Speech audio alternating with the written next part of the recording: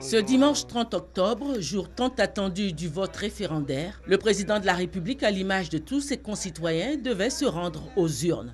Avant d'aller accomplir ce devoir citoyen, le président de la République a eu une nouvelle fois des mots à l'endroit de ses compatriotes. C'est un droit. Vous savez, dans beaucoup de pays, euh, même en France, aux États-Unis, beaucoup de populations n'avaient pas le droit de vote il y a un demi-siècle. Bon, en Côte d'Ivoire, euh, nous avons ce droit depuis l'indépendance. Et de 21 ans, nous sommes revenus à 18 ans, euh, à baisser à 18 ans. C'est dire que euh, nous voulons que la jeunesse soit partie prenante dans ce processus. C'est un jour historique, c'est un jour important.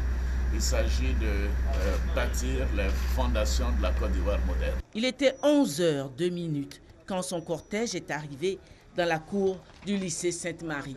Accompagné de son épouse, le président de la République s'est rendu au bureau de vote numéro 6 sous les objectifs d'une nuée de caméras et d'appareils photo. Après s'être soumis aux formalités d'usage, le président de la République a glissé son bulletin de vote, incontestablement le bulletin vert, dans l'urne.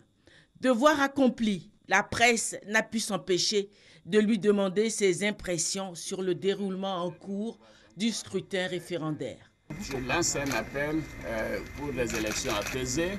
La police fait son travail, mais avec dextérité, éviter la violence. Et c'est vraiment, euh, on peut voter oui ou on peut voter non. Donc on n'a pas besoin d'aller casser, d'aller mettre des barricades. J'en appelle à la responsabilité et au bon sens. Vous savez, il y a près de 16 000 bureaux de vote. Quand il y a trois ou quatre endroits où il y a des difficultés, on ne peut pas en faire un souci. Le président de la République a conclu en appelant une nouvelle fois les Ivoiriens à refuser l'indifférence ou le rejet, mais plutôt à se rendre aux urnes pour exprimer leur volonté.